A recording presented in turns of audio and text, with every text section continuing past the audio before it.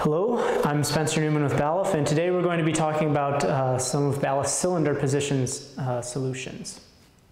Uh, so what we have here is our BTLs, uh, rod style, and these are actually made here in Florence, Kentucky, uh, with a typical five-day lead time, and they can have uh, a wide variety of measuring ranges all the way up to 7.62 meters or about 25 feet.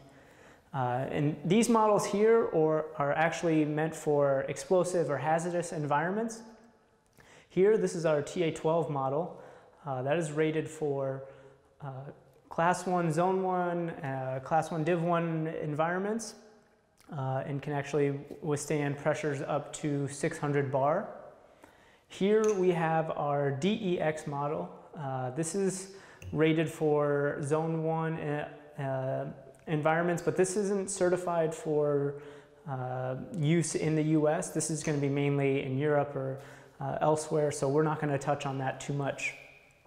Uh, and this is our NEX model, uh, which is similar to our Z-style housing, and it is rated for uh, Zone 2 or Division 2 environments where flammable materials are present but not high enough concentrations to actually ignite. Um, one unique thing about the NEX model uh, is there a there's a high pressure model that can actually withstand up to a thousand bar.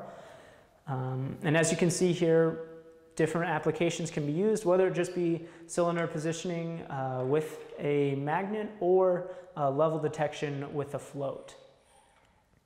Uh, another unique thing about the TA12 model is it actually has uh, quick change electronics. So if something fails on the inside, uh, the, wave, the waveguide goes bad, you can actually screw off this top portion here, and here you would see uh, what would be left.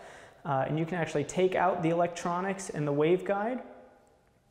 And then once you order your new part, you can just put that right back in and screw this top on and you're good to go. And the benefit of that is you don't have to shut down your machine and uh, remove the cylinder and worry about causing any leaks or contaminants entering uh, and creating issues in your cylinder.